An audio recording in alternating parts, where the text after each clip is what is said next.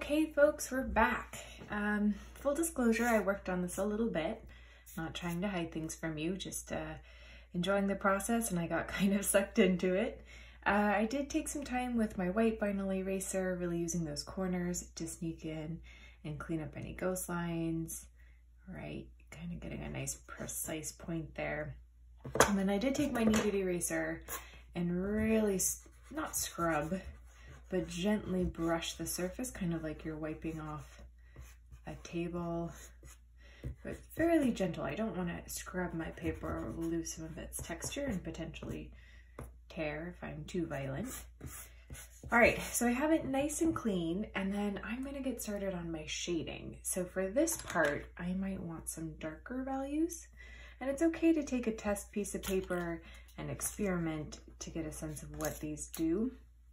I'm finding that this brand is a little bit um, waxier than I'm used to, so it goes a little lighter. So I would probably normally start with like an HB, but I might bump all the way up to my 2B for now.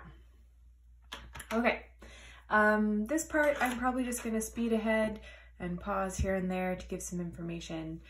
Um, but before I do that, you just kind of have to pick a spot. So wherever you're inspired to go, one place that I see on my still life that's interesting is the shadow falling across the second book. So since it caught my attention, I'm gonna go ahead and go in and just kind of lay in that shadow. And I'd like you to notice how I'm pointing my pencil at the line that I need to have the most control at. I don't want to go over the line like that. So I point my pencil and that allows me to have a little bit more control. Oops. And of course I wasn't paying attention so I went into the apple a little bit. Not the end of the world. And do, do, do, It kind of curves, the shadow curves because the spine of that book curves.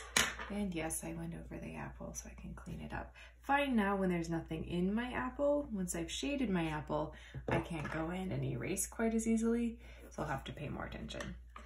All right, I do want to make sure that these shadows are dark, dark, dark. If you remember our core shadows, they're kind of darkest where they begin. This book and this apple have created a little cavern. So I want to make sure I get that nice and dark. You are welcome to use your blending stump if you're feeling like that's the move for you. Um, I might use the blending stump on the apple because it's smoother. I probably won't use it a ton on the books because I want the books to have that kind of linen texture um, of the fabric that's covering them. So I might use it as a base layer and then go back over it with my pencil to give it that linen feeling. All right, I'm gonna dive in and uh, I'll speed this up so you can see my moves. If I have anything worthwhile saying, I'll pause and uh, tell you. All right.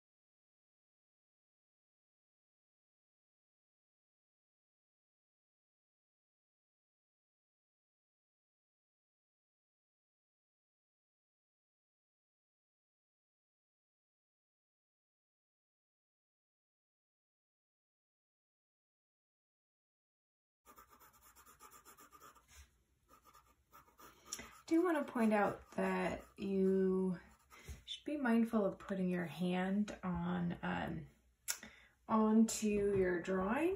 There are oils in your hand that will cause your drawing to smear. So it's a good idea to have a piece of paper nearby, like printer paper or even a piece of um, newsprint, and use that to shield your drawing from the oils in your hand.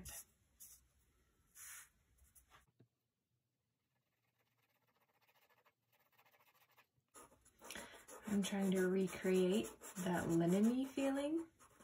So I'm trying to make my marks fairly uniform. And for that reason, I'm letting them go off of the paper, excuse me, off the edge of that book. Since there's nothing in the background, I can erase it.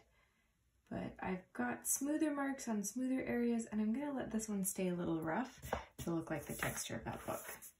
The other thing I can do if I want to um, not draw over something like I already shaded that edge is you can line up a paper.